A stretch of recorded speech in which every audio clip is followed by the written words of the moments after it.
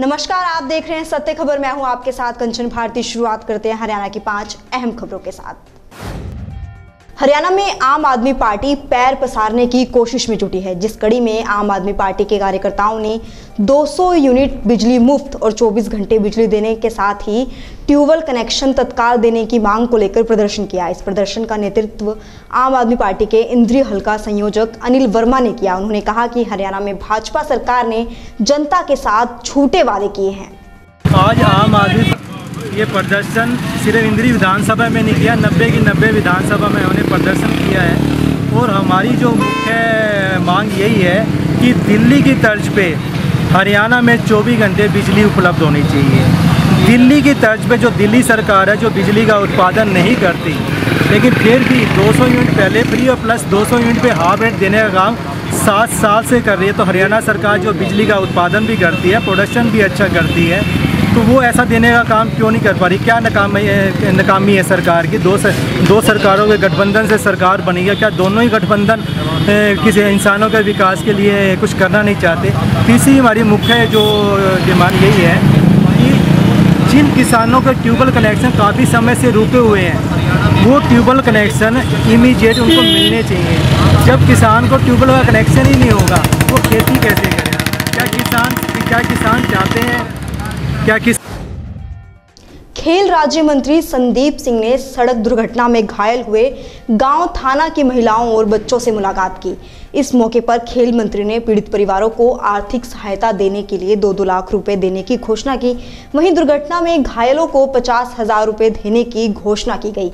इसके साथ ही उन्होंने पीड़ितों को मेडिकल सुविधाओं के लिए भी आश्वासन दिया है। देखिए बहुत दुखद की खबर है कि दो महिलाएँ एक युवा लड़का और एक बच्चा हादसे में बहुत ही चोटिल हुए हैं और महिलाओं को और एक युवा साथी को टांग जो है उनकी काफ़ी काटनी पड़ी और एक बच्चे की टांग टूटी तो इसमें मैंने दोनों परिवारों को अपनी तरफ़ से सहायता की है और मैं आशा करता हूँ कि उनका परिवार आगे सही चले। मैं कामना करता हूँ।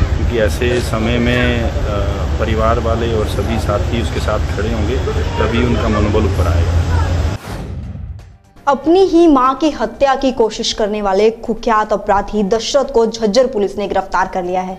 कुख्यात अपराधी दशरथ झज्जर ज़िले के बरहाना गाँव में रहने वाला है। दशरथ पर हत्या हत्या के प्रकाश, धमकी और जमीनी धोखाधड़ी के कई मामले दर्ज हैं। अपराधी ने 2016 में अपने ही गाँव बरहाना के एक व्यक्ति की हत्या की थी, जिसके बाद अपनी माँ की हत्या का प्रयास भी किया। पुलिस की टीम ने अपराधी को अवैध हथियार और तीन ज़िंदा कारतूस के साथ काबू किया है।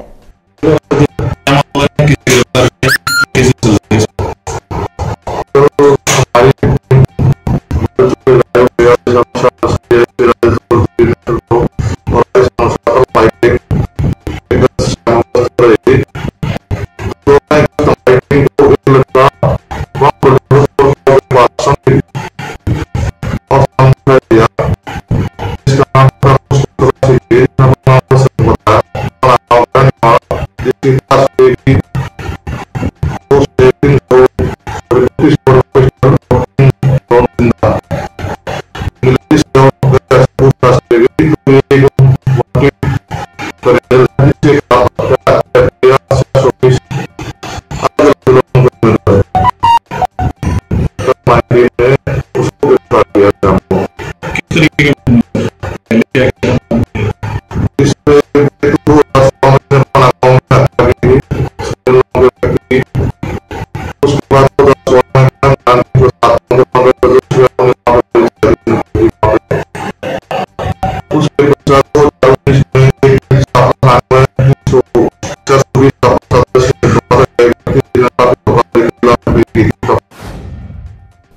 सोनीपत के गाँव खुर्रमपुर में खरखोदा बहादुरगढ़ मार्ग पर ढाबे के पीछे एक युवक का शव मिला है। युवक के शरीर में छह गोलियों के निशान पाए गए हैं। युवक की पहचान दिल्ली के सुभाष नगर के रहने वाले गौतम कोहली के रूप में हुई, जो दो दिन से घर से लापता था। वहीं युवक के परिजनों ने आरोप लगाया है कि अपहरण के बाद युवक की हत्या की गई है। फ़िलहाल पुलिस ने हत्या का मामला दर्ज कर जाँच शुरू कर दी है।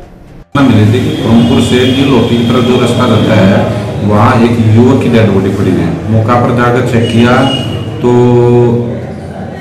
युवक के शरीर पर गोलियों के निशान थे। वारसान ने को सूचित किया गया। देर रात वारसान मौका पर पहुँचे हैं और वारसान ने हमें एक लिखित शिकायत दी है जिसके आधार पर आगामी कार्रवाई की गई। सर जो मृतक युवक है उसको कितनी गोलियाँ लगभग मारी गई? प्रथम दृष्टा से उसके शरीर से पाँच या छह गोलियों के हमें शक है फिर भी पोस्टमार्टम अभी चल रहा है पोस्टमार्टम के बाद स्थिति स्पष्ट हो पाएगी जो परिजनों ने शिकायत दी है सर उसमें क्या आरोप लगाए गए हैं? किस पर लगाए गए हैं? दरअसल झज्जर की कस्बा छुचकवास के पास स्थित एक निजी स्कूल के मालिक की अज्ञात कारणों के चलते मौत हो गई मृतक की पहचान वीरेंद्र के रूप में हुई है। वीरेंद्र जीडी गोइंका स्कूल में बतौर माली के पद पर काम कर रहा था। काम करने के दौरान अचानक पेट में दर्द होने से उसे इलाज के लिए भर्ती करवाया गया लेकिन इलाज के दौरान उसकी मौत हो गई। फ़िलहाल पुलिस ने शव को पोस्टमार्टम कराकर परिजनों को सौंप दिया है। आठ बजे के आसपास फ़ोन आया था चुप्पी ना? कि भाई वीरेंद्र है जो जीवन का स्कूल में माड़िया काम कर रहा है। जो पेट में दर्द होने का जो डेड जी जज्जर है। जो सूचना पाकर कार्रवाई के लिए आएगी। और परिजन आ रहे हैं जो उचित कार्रवाई करेंगे पोस्टमार्टम करा दिया? पोस्टमार्टम कराएँगे कागज़ तैयार करने लगे हैं। फ़िलहाल के लिए इतना ही। जुड़े रहिए सत्य खबर के साथ। धन्यवाद।